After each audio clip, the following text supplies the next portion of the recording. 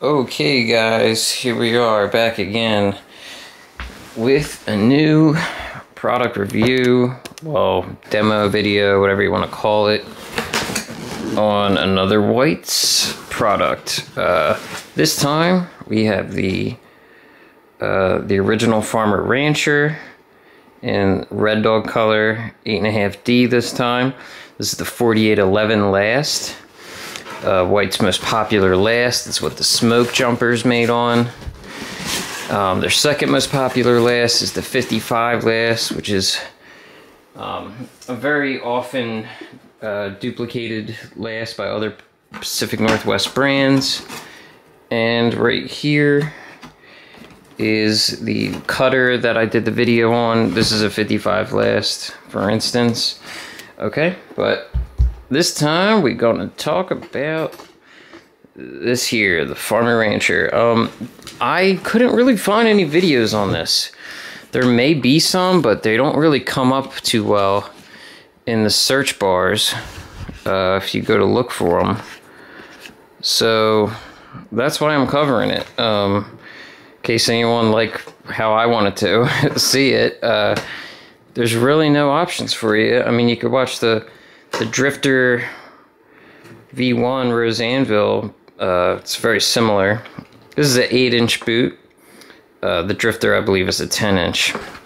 So let's just take one uh, for example. And, uh, you know, I love the white um, wrapping that this comes with. I always thought it was neat. You know, the little cartoonish uh, images that, that are on here.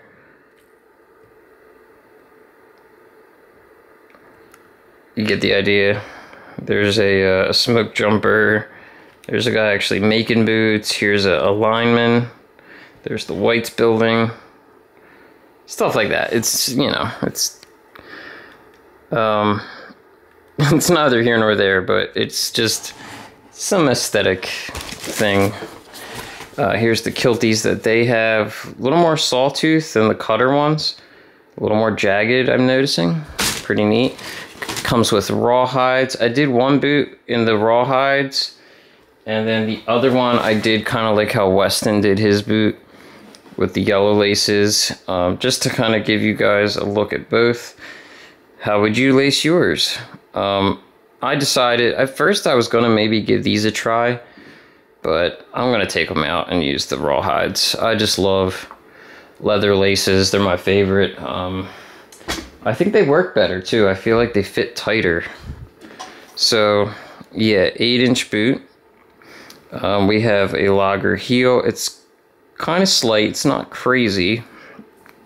Uh, Vibram um, uh, 430 mini lug again. Um, now you see here, um, the difference in just the way the, the foot is. Now this is an 8, this is an 8.5, and you can see there's a bigger distance between here. Whereas in the Rancher, more of that area is just footbed. You can see they really scuffed up the, the Vibram logo big time on this.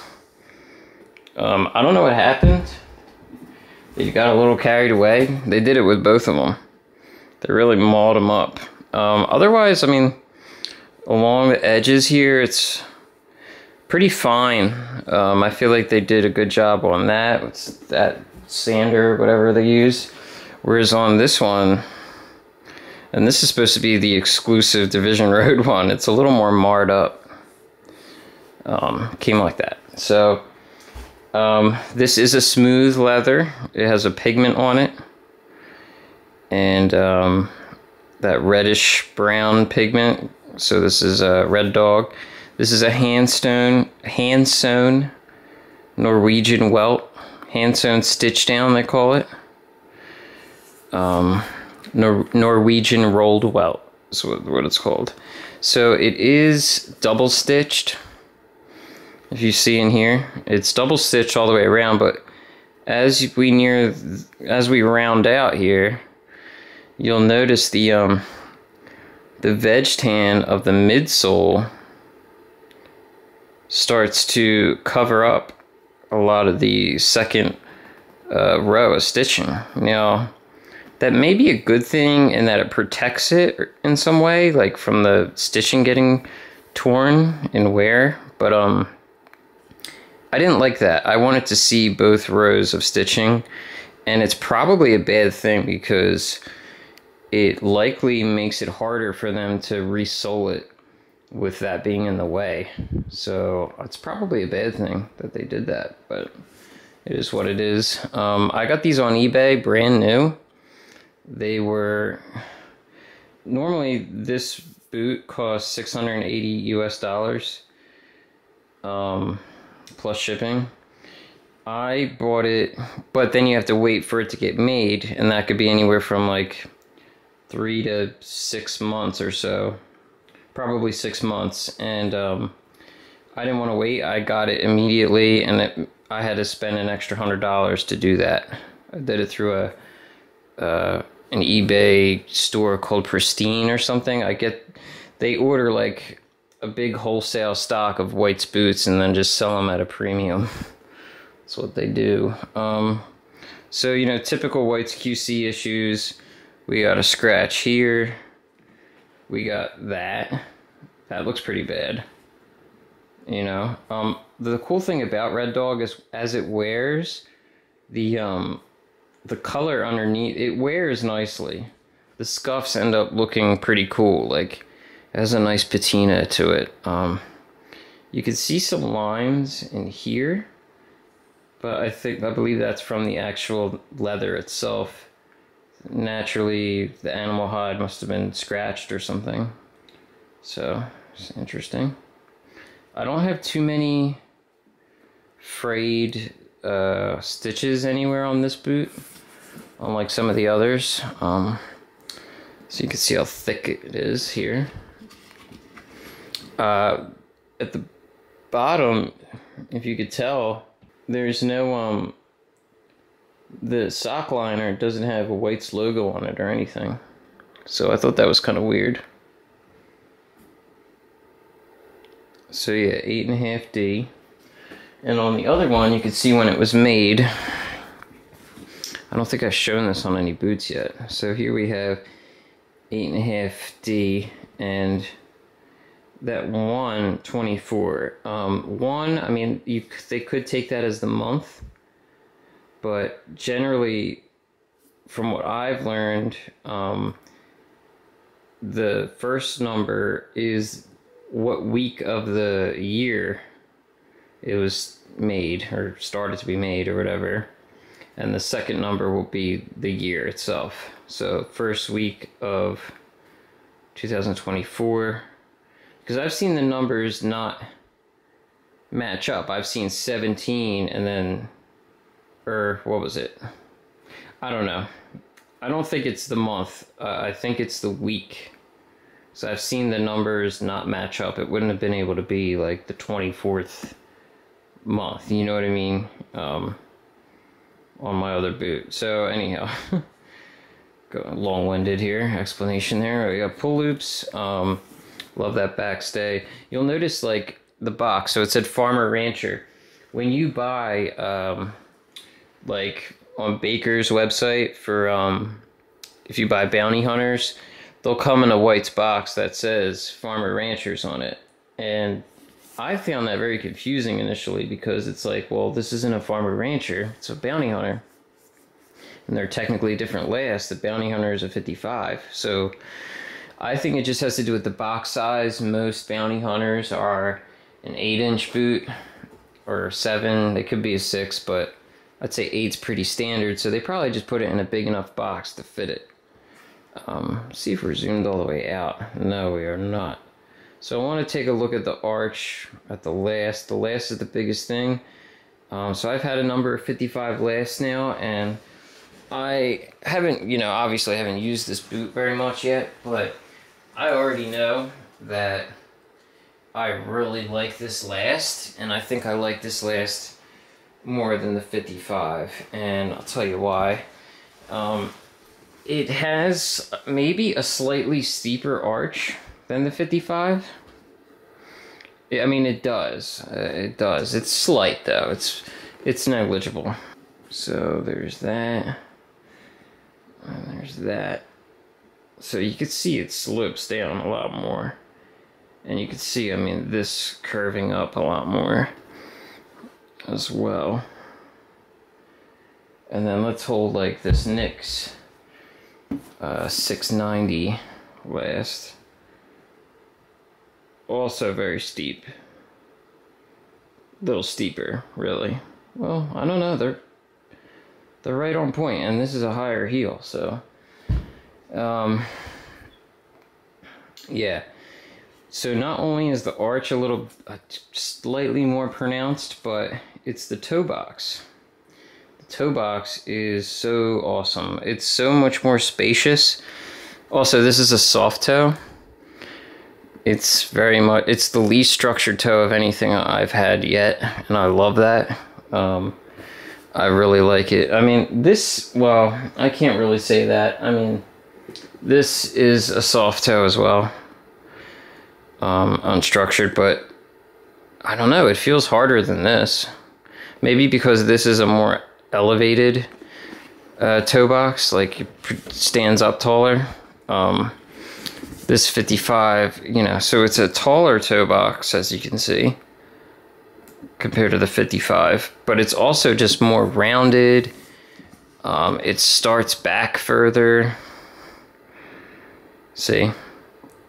Um, it just works with my, and this is a lace to toe, so don't let that you off. But uh, yeah, it just works better for my foot.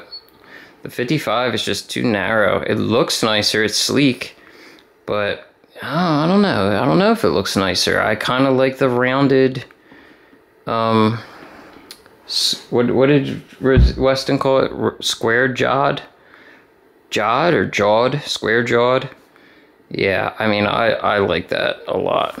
You know, it's like, it's kind of like what I wanted my Packer boot to be. I, you know, I don't like the pointy, pointy toe aspect of it that much. Um, but I still like the, the beefier look of it, so. Yeah, man, this is the, the, the Farmer Rancher. I've been wanting this for a long time. I initially wanted the, uh, the brown one. The leather is made by Seidel Seidel from uh, Milwaukee, Wisconsin. They make most of the work leathers for the PNW brands. Um, and yes, it is pronounced Seidel, not Seidel. Um, so Whites does their fully gusseted um, tongue, uh, the same leather as their upper, which not all brands do that. They usually use a cheaper material for the tongue. Um, and yeah, again, you have the, the hand rolled welt. And you can get boots that don't, from whites, that don't have the hand sewn stitch down, but, and they're usually like a hundred dollars cheaper. Um, whereas Frank's, his stuff usually doesn't have uh, hand sewn, it's regular stitch down. And you could pay $60 extra to have it hand sewn. So, you know, it's it's more labor intensive. Um, I like it better just for looks and aesthetic reasons. Um, it's not really going to give you much difference performance wise, but it appears to be more like a storm welt type type deal. So I mean, I love the silhouette from from the inside. I just think that looks great. Um, but yeah, so again, 8 inch boot, 10 inch boot, you know? And then 6 inch boot. So it's right in the middle, and uh, I do like 8 inch boots a lot. Um, I think I would get. I'd like to get a 7 inch boot for real. Um, I think that would be a nice, happy medium for me. But yeah, I mean, I fell in love with this kind of style. Like I said, I initially wanted the brown when I was first looking up whites, like on eBay. Um, so you get the brass eyelets, by the way, with the speed hooks. Um, so yeah, brown. Then I couldn't find them anymore. They just stopped popping up, you know, just praying used ones come up.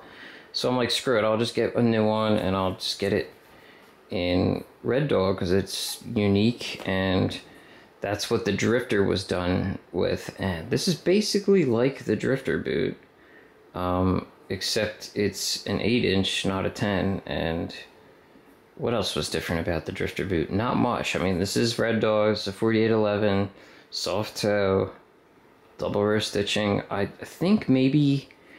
Did he have a block heel on it? Or slightly blocked maybe not as tapered of a logger heel. I don't remember, um, but they were extremely similar. I think it even had the 430.